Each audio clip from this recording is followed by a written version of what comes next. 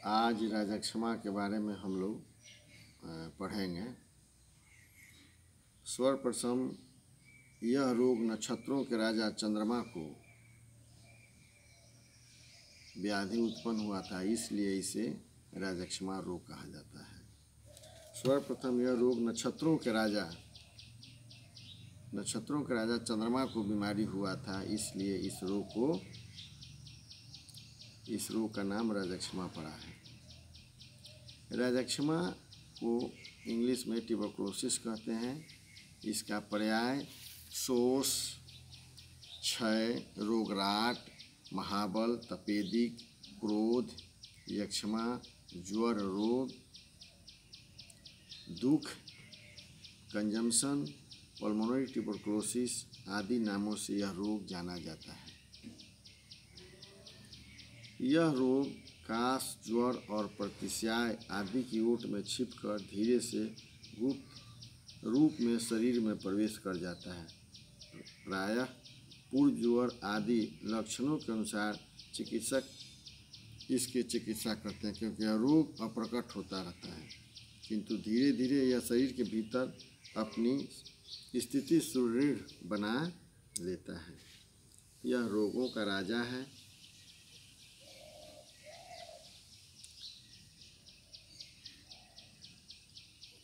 क्योंकि जिस प्रकार राजा की सवारी के आगे पीछे सुरक्षा सैनिक होते हैं, उसी प्रकार इस रोगराट के पहले, अर्थात इसके प्रकट होने के पूर्व, ज्वर, खांसी, श्वास आदि रोग दिखाई देते हैं। और इसके हो जाने पर अतिसार, शोथ, पांडु,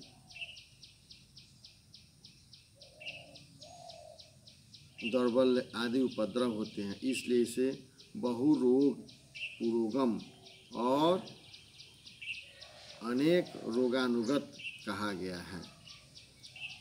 इस राजक्षमा को महाबलशाली कहा गया है। चरक संहिता में बताया गया है, चिकित्सा अध्याय आठ में, कि यक्ष्मणा रोगानाम राजा राजयक्ष्मा। यक्ष्मा रोग को कहते हैं और यह सभी रोगों का प्रधान या राजा है। अतः इसे राजक्षमा कहते हैं। यह रोग सबसे पहले नक्षत्रों के राजा चंद्रमा को हुआ था। इस प्रकार राजा का रोग होने के कारण इसे राजक्षमा कहते हैं। रागो यक्षमा राज यक्षमा रस रक्तादि धातु का शोषण करने से इसे शोष कहते हैं। संशोषनाद रसदीनाम शोष इति भिद्यते।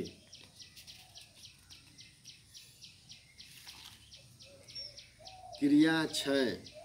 कृतवाच्य क्षय इति उच्यते पुनः।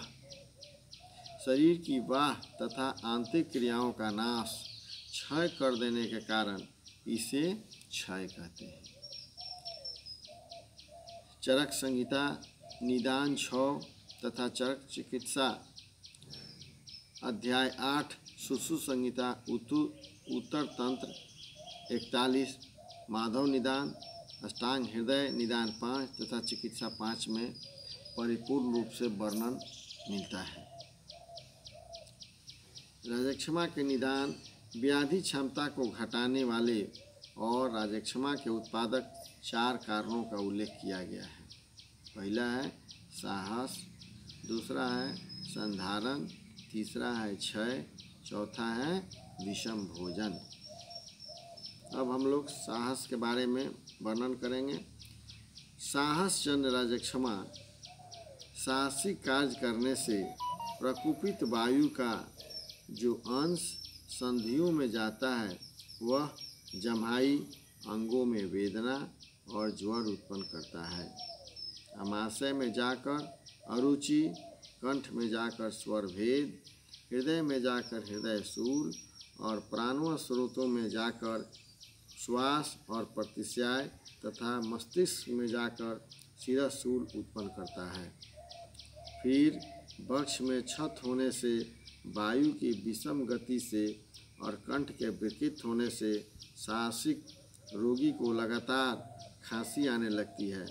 खांसी आने से छाती में छत हो जाने के कारण रोगी रक्त को थूकता है और रक्त निकलने से उसकी दुर्बलता बढ़ जाती है। फिर तो शरीर शोषक उपद्रवों से ग्रस्त होकर वह रोगी सूखने लग जाता है। संधारण, प्रकोपित वायु पित्त और कफ को प्रेरित कर उन पर नीचे और तिरक ले जाती है। विकृत वायु अपने अंश विशेष से शरीर के विभिन्न अवयवों में जाकर सूल उत्पन्न करती है। मल को तोड़कर बाहर निकालती है। या सुखा देती है। पार्श्व, स्कंध, कंठ, छाती और शरीर में अनेक विध पीड़ा उत्पन्न करती है। फिर खांसी, ज्वर भेद प्रतिश्याय उत्पन्न करती है। तत्पश्चात शरीर शोषक उपद्रवों से ग्रस्त होकर रोगी व्यक्ति सूखने लगता है। क्षयज यक्षमा की संप्राप्ति। जब वह क्षयज यक्षमाग्रस्त पुरुष अत्यंत हर्ष से कामाशक्त होकर अतिशय स्त्री प्रसंग करता है तो उसका शुक्र छीन हो जाता है। फिर भी यदि उसका मन स्त्री संभोग से विरत नहीं होता है तो मैथुन करने से शुक्र का श्राव नहीं होता। अपितु वायु रक्तवाहिनी धमनियों में प्रविष्ट होकर उनसे रक्त स्राव कराती है और वह रक्त शुक्र मार्ग से बाहर आता है। परिणाम स्वरूप उसकी संधियाँ शिथिल हो जाती हैं। शरीर में रुक्षता बढ़ जाती है तथा वायु, रक्त तथा मांस को सुखा देती है और फिर कफ तथा पित्त को निकलने लगती है। फिर पार्श्वों में वेदना, कंधों में पीड़ा और कंठ में स्वरभेद उत्पन्न करती है। सिर में कफ की वृद्धि, संधि शूल, अंगमर्द, अरुचि, अजीर्ण आदि हो जाते हैं। पित्त और कफ के उत्क्लेश से और वायु के प्रतिलोम गति होने से ज्वर काश श्वास स्वर भेद स्ट्राइडर और प्रतिश्याय हो जाता है। पूरा छत होने से उसके मुख से रक्त आता है, जिससे वह दुर्बल हो जाता है। फिर तो शरीर को सुखाने वाले उक्त उपद्रवों से ग्रसित होकर वह सूखने लगता है। आयुर्वेद में राजक्षमा के दो प्रकार बतलाए गए हैं अनुलोम क्षय और प्रतिलोम क्षय विषम भोजन जन्य राजक्षमा की संप्राप्ति। विषम भोजन के कारण प्रकोपित वाद से अंगमर्द कंठ में खरखराहट, पार्श्वशूल, स्कंध में दृढ़, मर्दन जैसी पीड़ा, स्वरभेद और प्रतिश्याय होते हैं। पीठ से ज्वर अतिसार और दाह होता है। प्रतिश्याय सिर में भारीपन, अरुचि और काश उत्पन्न होता है। काश से अधिक होने के कारण छाती में छत होने से रोगी रक्त थूकने लगता है और रक्त के लगातार निकलने से दुर्बलता उत्पन्न हो जाती है। इस प्रकार विषम भोजन जनित दोष राजक्षमा को उत्पन्न कर देते हैं। लक्षणों के आधार पर चरक चिकित्सा आठ में राजक्षमा के तीन प्रकार बताए गए हैं। कौन कौन पहला है त्रिरूप राजक्षमा खडरूप राजक्षमा और तीसरा है एकादश रूप राजक्षमा अब त्रिरूप राजक्षमा के बारे में ए, हम लोग जाने क्या है त्रिरूप में? कंधों तथा पार्श्वों में पीड़ा होती है। हाथ और पैर में जलन होती है। तीसरा, संपूर्ण शरीर में ज्वर होता है। संपूर्ण शरीर में ज्वर का होना पाया जाता है। अब इसके बाद है, खडरूप राजक्षमा। क्या है? भक्त द्वेष। भोजन में अरुचि, एंड्रोक्सिया होती है। दूसरा, ज्वर होता है। फीवर होगा रोगी को।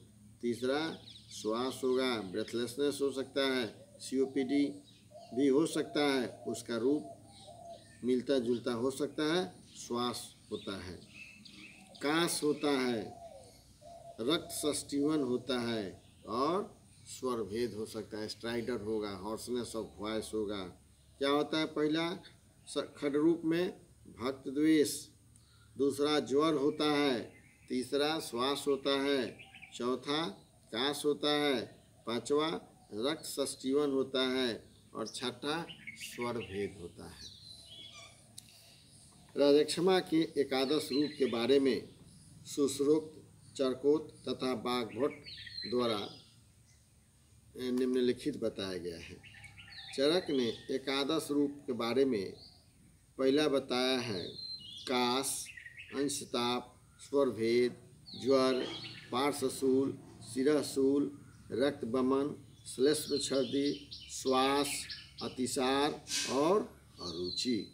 ये चरक ने एकादश राजक्षमा के बारे में बताया है। सुश्रुत संहिता द्वारा सुश्रुत ने एकादश रूप बताया है। पहला है स्वर भेद, दूसरा है अंश पार्श्वशूल, तीसरा है अंश, पार्श्व, संकोच। चौथा, ज्वर। पांचवा, दाह। सिक्स, अतिसार। सातवां रक्त सष्टीवन सिरह, पूर्णता। आठवां, नौवा में अरुचि। दसवां में काश होगा। ग्यारह में कंठोध्वंस। ये सुसु संहिता में वर्णित है।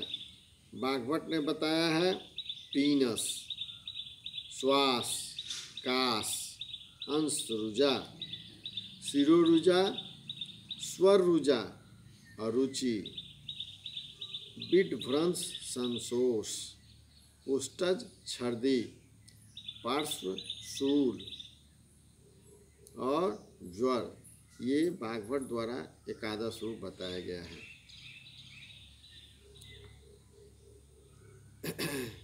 इसमें असाध्य लक्षण का बताए हैं कि त्रिरूप रोगी जो बल, मांस, क्षय युक्त हो, अधिक मात्रा में भोजन करे, फिर भी छीन होता जाए, अतिसार रोग से ग्रस्त हो, उदर तथा अंडकोश में सूजन हो, जिसके नेत्र श्वेत हो, जो अन्न से घृणा करता हो ऊर्ध श्वास विकार से ग्रस्त हो मूत्र कृष से रिटेंशन ऑफ़ यूरिन से पीड़ित हो जो बहुत अधिक मूत्र त्याग करता हो। ये असाध्य लक्षण के बारे में बताया गया है। साध लक्षण के बारे में क्या बताया गया है? जिससे लगातार ज्वर न रहता हो, जो बलवान हो, जो औसत की शक्ति तथा शोधन की क्रिया को सहन कर सके, जिसका इम्यूनिटी पावर स्ट्रांग हो, जो आत्मबल संपन्न एवं संयमी हो, जिसकी जठराग्नि दीप्त हो, जिसके शरीर में मांस की छीनता न हो इन गुणों से युक्त यक्षमा का रोगी साध्य होता है। अब राजक्षमा के संप्राप्ति में राजक्षमा के संप्राप्ति के बारे में बताया गया है कि शारीरिक तेरह प्रकार की अग्नियाँ जब बलवान रहती है तो आहार का पाक तथा रसादी सब धातुओं का उचित मात्रा में पाक होता है। और एक धातु का उचित मात्रा में पाक द्वारा निर्माण होने से अग्रिम धातु का भी उचित मात्रा में निर्माण और पोषण होता रहता है। इस प्रकार रक्त से रक्त रक्त से मांस मांस से मेद मेद से अस्थि अस्थि से मज्जा और मज्जा से शुक्र प्रयत्न धातुओं का पाक, निर्माण और पोषण होता रहता है, जिससे मनुष्य स्वस्थ रहता है। क्या है निदान में? संधारण, विस्मासन, कफ, प्रधान दोष। बातपीत उससे श्रोता अवरोध होता है। श्रोता अवरोध होने से पोषणा अभाव होगा, पोषण का अभाव होगा। पोषण के अभाव से रस, रसादि सुक्रांत धातुओं का उत्तरोत्तर क्षय होगा। सर्व धातु क्षय होगा, शोष होगा, उसके बाद अनुलोम राजक्षमा होगा। साहस, निदान में साहस, क्षय से क्या होगा? शुक्र क्षय, बात प्रधान दोष होगा। बात क्या होगा? प्रकोपित होगा। उससे क्या होगा? पोषणा अभाव होगा। शुक्र से रस प्रयत्न पूर्व धातु क्षय होगा। सर्व धातु क्षय होगा, शोष होगा, प्रतिलोम क्षय होता है। दोष दोष अधिष्ठान। दोष त्रिदोषज व्याधि है, बात कफ प्रधान। दुष सभी धातुएँ मुख्यतः रस धातु। स्रोतस सभी स्रोतस, मुख्यतः रसव स्रोतस। अधिष्ठान फुफ्फुस सर्व शरीरगत धातु क्षय आम पक्वासोथ चिरकारी व्याधि। राजक्षमा के पूर्व रूप क्या है? शारीरिक दोषजन, श्वास, अंगमर्द, कफ, संशय तालुशोष बमन अग्निमान मद, पीनस, कास, निद्रा शुक्लक्षता रक्ताल्पता तथा शोथ। ये पूर्व रूप हैं। मानसिक विकार क्या है? स्त्री संभोग की प्रबल इच्छा, स्वप्न में काक बंदर गिरगिट की जल विहीन नदियाँ देखना, धुएँ से भरे और दवानल में पड़े वृक्ष को देखना, ये लक्षण प्रतीत होते हैं। राजक्षमा की चिकित्सा में दो सिद्धांत बतलाए गए हैं।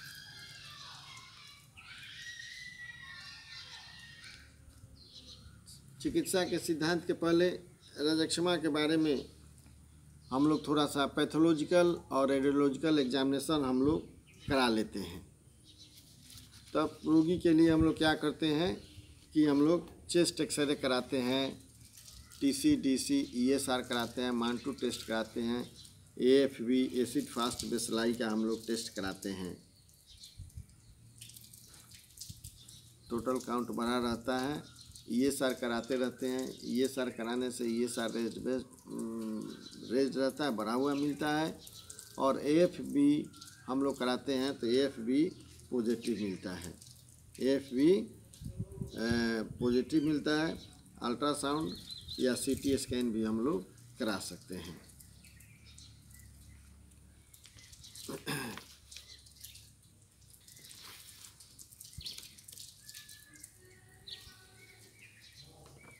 अब राजा क्षमा के चिकित्सा में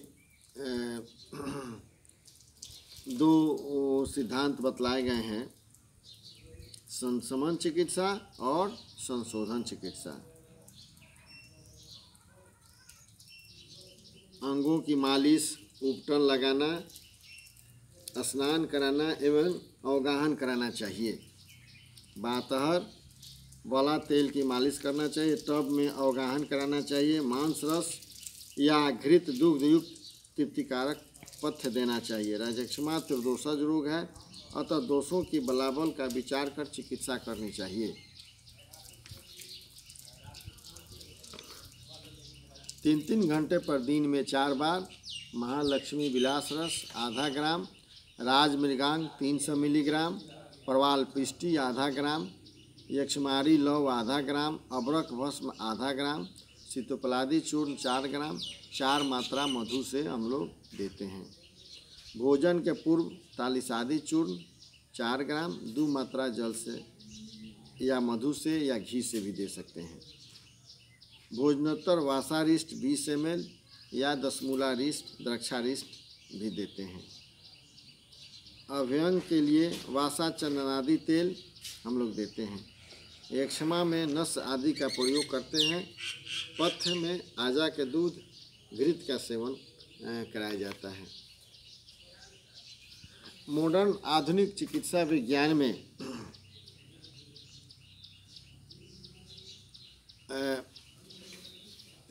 ट्यूबरक्लोसिस के चिकित्सा में six month, nine months, one year तथा एटीन एवं ट्वेंटी फोर मंथ्स बताया गया है।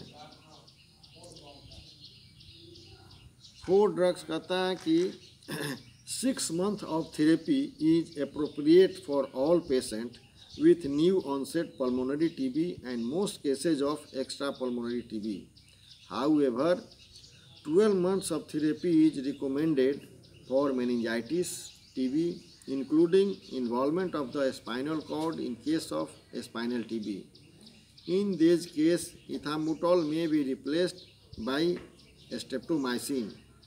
Paradoxin should be prescribed in pregnant women and malnourished patient, kuposhan janit, to reduce the risk of peripheral neuropathy with isoniazide. Where drug resistant is not anticipated, patients can be assumed to be non-infection after two weeks of appropriate therapy. Most patients can be treated at home. Admission to a hospital unit with appropriate isolation facilities should be considered where there is uncertainty about the diagnosis, intolerance of medicine, questionable treatment, adverse social condition, or a mm, significant risk of MDR-TB culture positive after two months on treatment. Our contract with known MDR-TB. Patients treated with rifampicin should be advised that their urine test, urine, tears and other secretion will develop a bright orange, red orange and women taking the oral contraceptive pill must be warranted that its efficacy will be reduced and alternative contraceptions may be necessary. Ethambutol and streptomycin should be used with caution in renal failure with appropriate dose reduction and monitoring of drug levels. Adverse drug reactions occur in about 10% of patients but are significantly more common with HIV co-infection. Baseline liver function test and regular monitoring are important for patients treating with a standard therapy.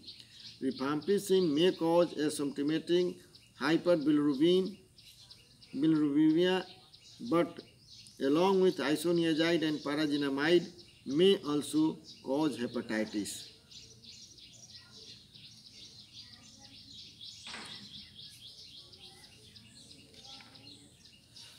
Four drugs starting for two months, rifampicin, isoniazid, mymbutol, and paraginamide.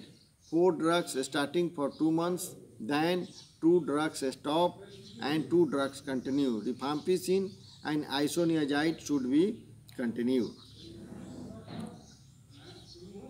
12 month, uh, 9 months uh, therapy में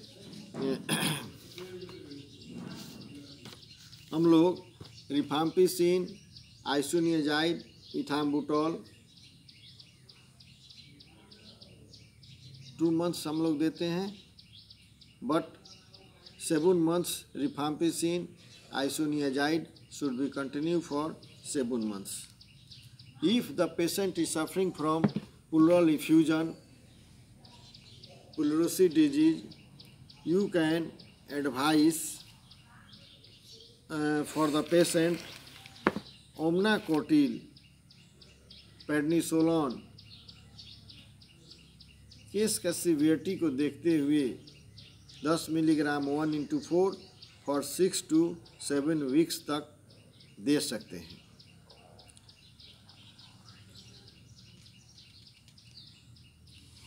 Aspiration of pleural fluid may be necessary to relieve breathlessness